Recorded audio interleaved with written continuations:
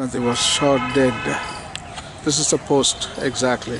When she was crossing there, just the green post in front of the two bodyguards, they killed her in 1984, October 31st, I guess. So this is the walk, the last walk she made. This is the glass crystals it's preserved here. So that is the place where her house is. See the house? That is one Safdarjung road. This is Akbar. Once she goes to see it, that is the Akbar palace, I think, where she was going to give an interview for a high-risk television, and that is the time she was assassinated. Again, I mean, number one Safdarjung Road, New Delhi, Indira Gandhi's house, and this is his spot exactly where Indira Gandhi was assassinated.